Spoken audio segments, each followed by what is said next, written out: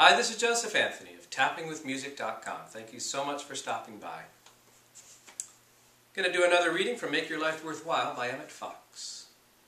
This one is entitled The Tide Flows In and Out.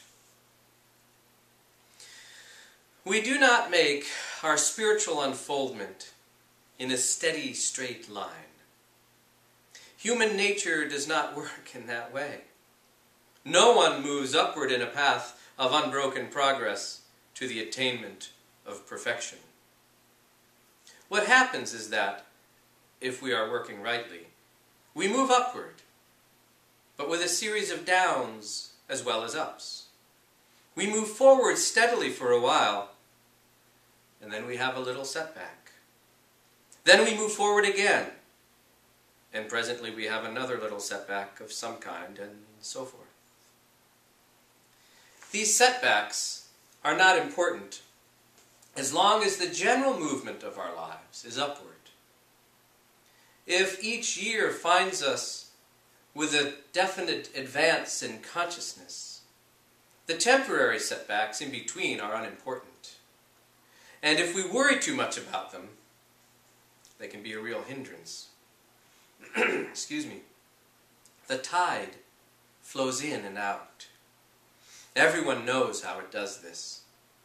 The foremost wave comes in and in, and it seems as though it would never stop until it reached high water mark, but it does stop and actually goes back. And if one did not know better, he would suppose that this was the end of the matter. But it is not. The tide goes back a little, but not to its old mark and then it comes on again, and this time it moves higher than ever, and so on. This mode of progression seems to be general throughout nature.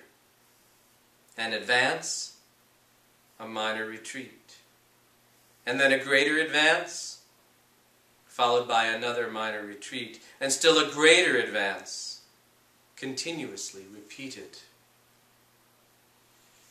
Do not watch the individual waves, but keep your attention on the tide, and all will be well. The joy of the Lord is your strength.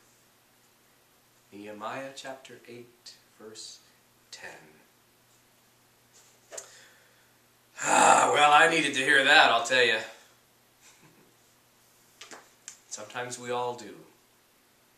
And if you find yourself in any place of discouragement or you're wondering why,